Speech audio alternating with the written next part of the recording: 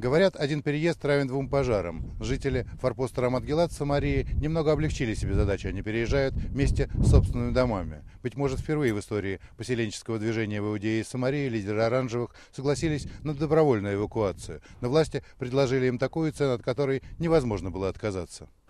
Форпост Рамат-Гелат был основан 11 лет назад на землях, выкупленных у арабов местным пионером Мошезаром. Поселок назвали в честь Гелада Зара, сына Моше, офицера безопасности Корней Шамрона, убитого палестинскими террористами в 2001 году.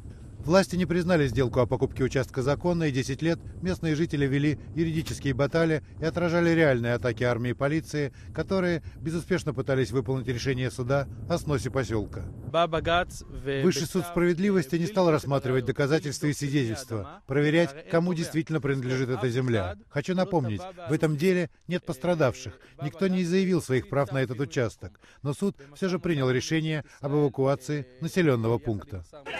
Три месяца назад командование снова попыталось взять Рамат-Гелат штурмом. В сражении был ранен командир бригады Ефраим. Местные жители забросали его машину камнями. Свои дома поселенцы тогда отстояли, а власти наконец-то поняли, что несгибаемыми обитателями горки нужно договариваться мирным путем. Нам удалось прийти к соглашению с правительством Израиля. На переговорах под руководством министра Минахема Бегина был подписан документ, согласно которому кусок земли, которое государство считает частной, мы освобождаем и переезжаем на 500 метров западнее. Эта часть договора уже выполнена.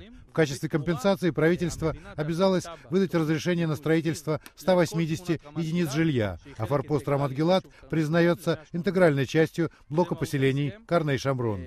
Мы считаем, что добились серьезной победы и не разделяем точку зрения тех, кто говорит, что власти нас купили. Конечно, отступать всегда больно и неприятно, но если посмотреть на дело чуть шире, то станет понятно, что 180 новых домов Карна-и-Шамрон — это огромное достижение.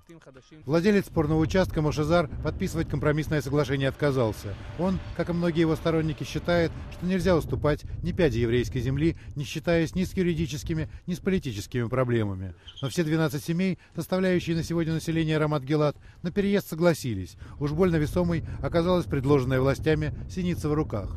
Можно не сомневаться, что в ближайшие дни решение правительства Израиля будет осуждено как палестинцами, так и международным сообществом. Но зато министрам удалось справиться с серьезной внутренней проблемой.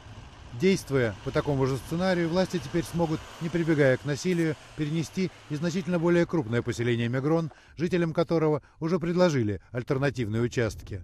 Сомнительная слава первых добровольных переселенцев все равно навсегда останется за Рамат-Геладом. Сергей Гранкин, Александр Жаботаев, RTVI, Самария, Форпост Рамат Гелат.